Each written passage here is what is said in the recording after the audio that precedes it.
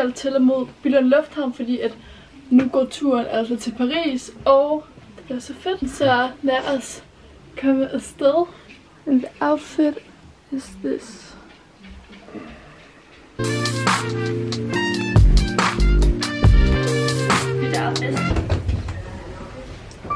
Ja, din bandit. Det er det gode lige sådan. Fantastisk. Man bliver helt ser, bleg. hvem man er. Jeg fandt ud af, at vi kan ikke tjekke ind herfra. Nå, jeg fik altså en mail. Ja, i dag. Det er ishamrende koldt, far. Nu sidder jeg så højt oppe i sædepilletten. Uh, 3 graders varmestid. Er vi friske? Nej, skal Dukken væk fra. da op igen. Hvorfor er den ikke automatisk? Ja, der skal I på eventyr. Så vi skal på endnu et Igen, igen, igen, igen. Ja. Vi andre er grønne misundelse. Tænk at tage ned til Paris, hvor der er 18 grader og træer, der sprunget ud. 18 grader. Nå, nå, undskyld, 4 grader, det regner. Nå, det var sådan, det var. Ja. Vi skal nok få lov at hygge jer. Vi ses i Billund Lufthavn. Det for koldt, så jeg kan tænke. Så kan vi se lufthavnen. Så vi kommer til lufthavnen. Der er det, ja, efter en times kørsel. Nu er klokken halv ni. Så må vi hellere gå ind, ja. Ja, for helvede, mand. On the road again. Nu skal vi lige have vores ting ned i de her på. Ja. Vi havde helt glemt, at vi skulle have mundbind på, så det tog vi først på efter lidt tid. Er det her også væske? Tandpasta? Ja. Så fik vi tjekket ind. Alt var godt. Så står vi her igen. Jeg gider ikke, fordi du ser stolen. Hvorfor? Nu kan du bare betale. Egen, mand. Lad mig lige din mobil.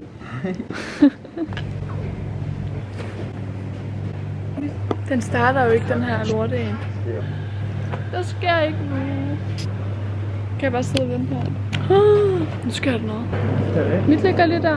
Ej, hvor dejligt. Brudt. Mm. Hvor lang tid har vi inden vi skal flyve? Halvanden time, så skal vi flyve. Uh...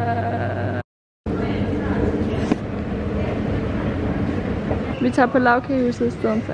Hvad skal du have? Jeg ved det ikke. Det ved jeg heller ikke. Skal noget drikke også? Så skal vi simpelthen have noget food. Så jeg har fået mig sådan en lækker gulerod.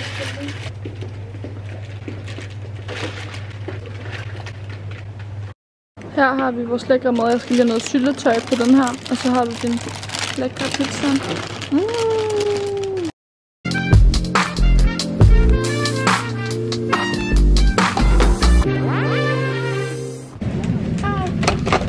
Finger Another er announcement. I'm sorry. Your health and in safety is our er.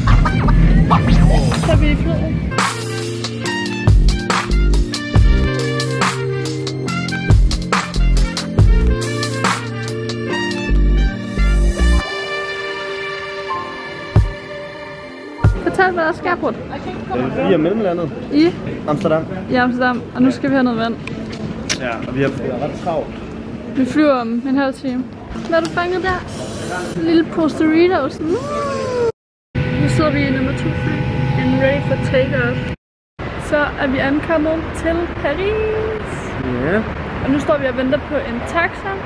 Kør en time. Vi skal køre, vi skal køre en time. Vi Ja. skal køre en time. Oh my god, det magter jeg slet ikke. Så er vi nået frem til Los Hotelos. Så i betragtning af det Paris. Cute. Let's go inside.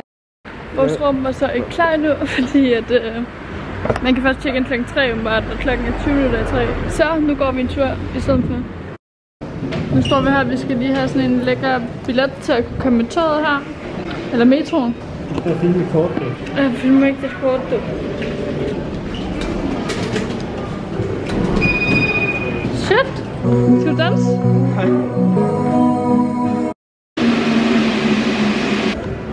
På den her lyserøde lidt chili rosé? Ind. Jeg går ikke ind for det. Jeg gider ikke den filmer først. du. Det er pinligt. Så, Hold da op. Hvad sker der? Der er vi. fucking varmt. De der lamper, der er Det er 40 ligesom grader. Nu går vi. Det er så ikke det der. Nu har vi fundet et nyt sted. Vi går herind. Det ser lidt mere hyggeligt ud. Ej, det er så østers og sådan noget. Der står Happy Oyster. Ah, okay, de har fish and chips. Fint. Så har vi fået vores lækre mad her. Jeg har fået en pandekage, og du har fået en flankesteak med pomfritter. Det er en flot en, du har fået her.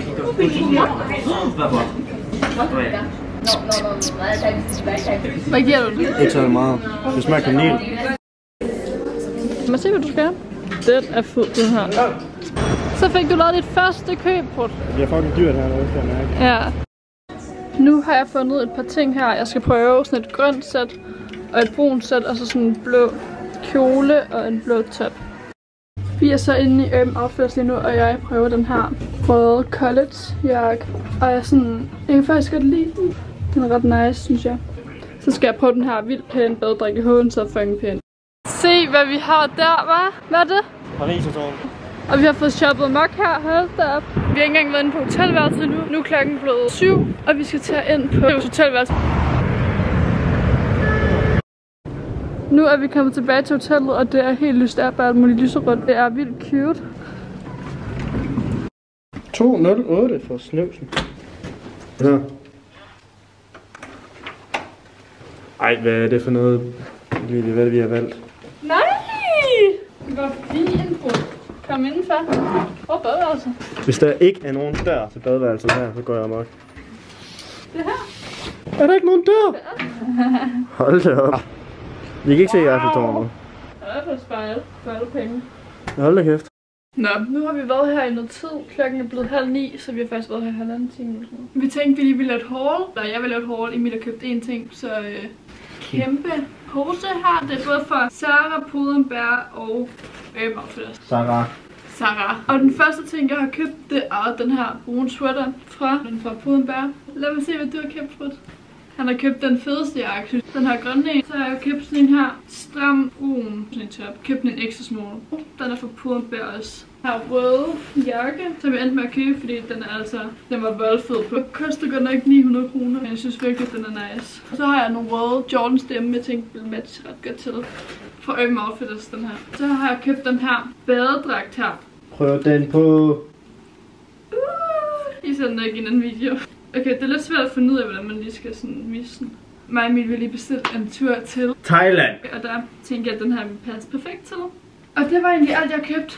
Man kommer ind her, og så er der sådan en lille køleskab og sådan noget, og så går man ind den her vej. Vores køffer, der ligger her, rigtig flyder. Så har vi et tv, et vindue, vores lækre seng, et kæmpe spejl. Og så har vi simpelthen det her gardin med, hvor toilettet er her, hvor der er sådan en håndvask her, og så er der et toilet herinde. Der, der er så spejl, der er spejl over alt seriøst. Og så er badet herinde. Uh. Og nu skal vi afsted. Skal vi bare bestille? Nej, vi skal afsted. Fordi nu er vi i Paris, vi bestiller ikke mad her. Der kommer fodbold. Vi gider ikke se fodbold. Au, han slog mig på kamera. Nu tager vi sko på, og skal have ruttet lidt op, fordi har kæft, det er lort allerede. Det er fandme dig. Nej, Du har smidt dit håndklæde der. Det er du har lagt dit... Nej, mit det ligger derovre. Oven på stolen. Ligger dine sko derop. nu går vi altså og forlader værelset. Vi har fået ruttet lidt mere op her. Nu går vi ud og finder en spontan restaurant at tage på og spise. Ja. Godt så. Vi til at blive bange.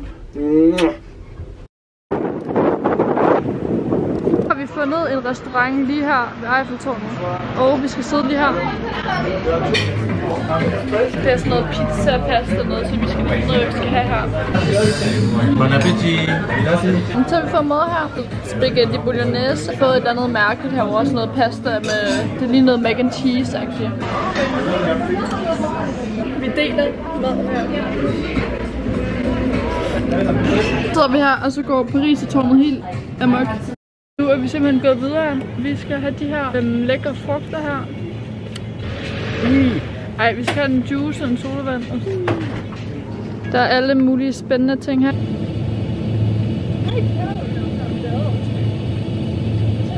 No thank Vi skal have det her.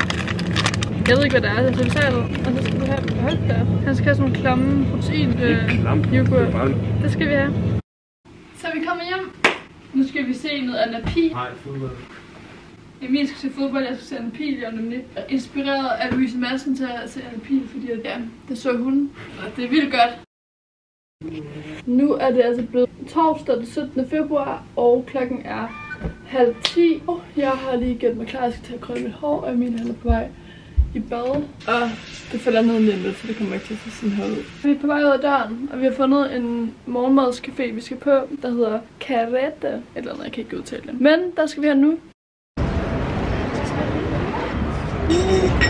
Så nu venter vi på maden, og vi håber, det smager sygt godt. Og det er alle pengene værd. Først til Eiffeltårnet herfra. Der. Uh, ja, det er altså virkelig møg akavet, det her. Uh, ja. Nu har vi fået vores lækre mad her. Og Emil han skal tage nogle billeder af mig nu. Så her, you go. We are going to die now. Der er virkelig mange inde i den her metro. Og vi over til The Louvre. S'il ne vous tournez pas la tête. Nu er vi kommet her til Louvren.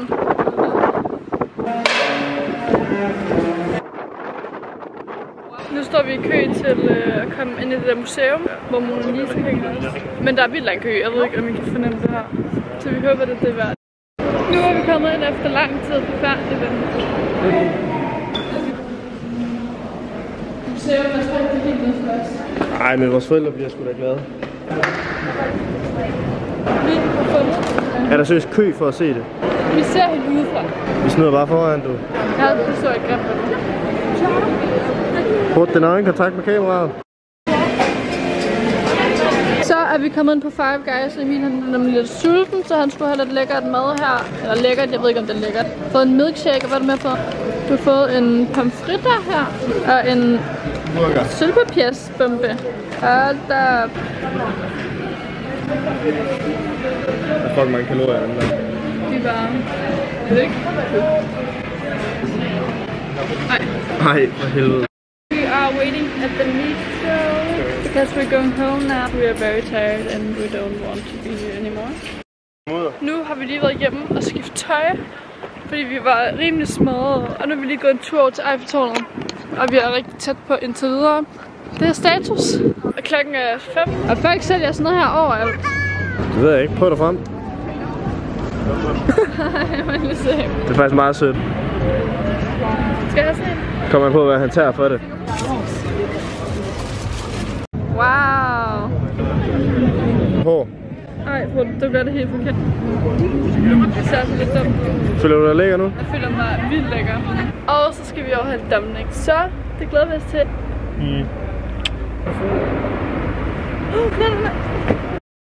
Nu er vi kommet ind på restauranten. Og det er rigtig fancy herinde. Who put this shit together? I'm the good.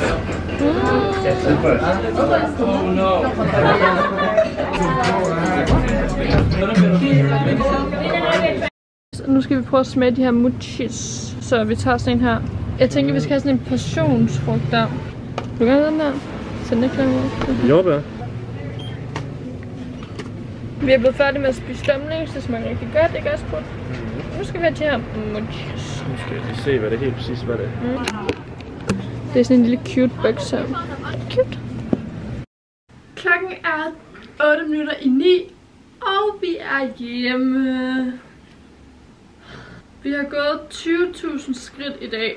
Skal vi smage de her på et tidspunkt, og så skal vi vise jer det. Så har jeg lagt noget på Instagram, ikke? Min story, og så kommer det, det var sådan en vildt godt kvalitetsbillede, så kommer det ud på story, og så er det bare vildt dårlig kvalitet. Det er det her billede, vi har snakket om. Det er billedet nogle dumplings, og det er sygt jeg tager noget, der sker. Jeg ved ikke, om jeg skal tage noget nu. Se hvor små muchis. Muchi, muchi, muchis. Vi har købt en med strawberry, mango, passionsfrugt og chokolade. Okay, jeg starter med den med passionsfrugt. Ej, what? Det er mango. Den er seriøst helt blød. Det er mærkeligt, det her. Åh, oh, det er godt, det her. kan Kan I se det? Det er sådan noget på smag. Det er sådan noget is derinde i. Det smager godt. Altså, det er mangois inde i. Nej. Ah, den er sjov. Er det ikke det, der hedder? Den, der man sådan kan jonglere med. Mm. Så er der sådan noget is derinde i. Og så er der sådan noget dej udenpå. Uh, Uh, den er sød, den her. Jeg tror, den er passionsfrugt er god.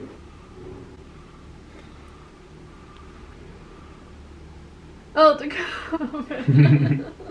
Jeg kan give mig lidt tyk i det. Det er faktisk det bedste. Hvad giver du de her muchis? To. To. Vi vil hellere bare have isen. Det der dej, det, er sådan, det smager ikke noget, det er bare lidt nasty. Grineren kan tage isen var fucking god. Ja. Så øh, en 3 ud af 10. Nu vil vi lægge os og hygge. Se fodbold. Går bare. wow. vi er simpelthen på vej ud igen. Fordi nu skal vi ud til Eiffeltårnet og have taget smukke billeder og videoer, hvis vi formår at kunne gøre det. Og derfor har vi taget det her lækre kamerastativ med. Vi vil gerne ramme Eiffeltårnet, når det begynder at blinke. Og det gør det om 5 minutter her time. Det tager 20 minutter det her. Det ser overhovedet ikke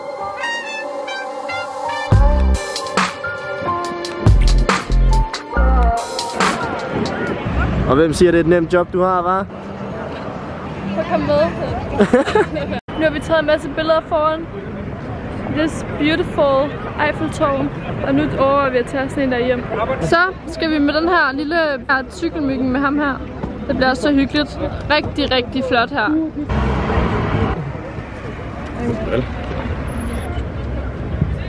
Skal vi tage køre her på den her cykel her, så så Eiffeltårnet i baggrunden. Wow. Nu får vi simpelthen også tæt på. Det bliver sikkert en kold tur, kan jeg allerede fornemme på den.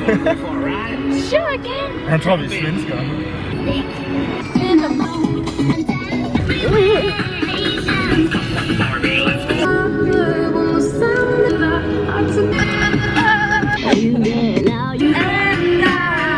Nu er vi kommet tilbage på sådan en cykeltaxi om rigtig hyggeligt med noget godt musik. Ja, Jeg sat på Barbie Girl og jeg ved ikke hvad. Så kommer vi ind på hotellet her, og så møder vi sådan nogle øhm, trans.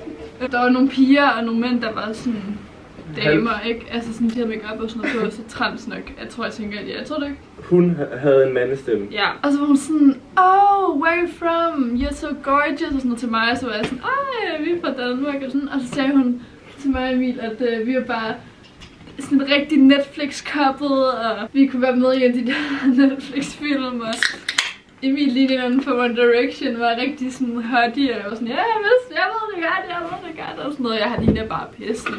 Det er sjovt, det er mega sødt af hende. Er, hvad vi har købt. Og du sidder der så. Nu skal vi bare hygge.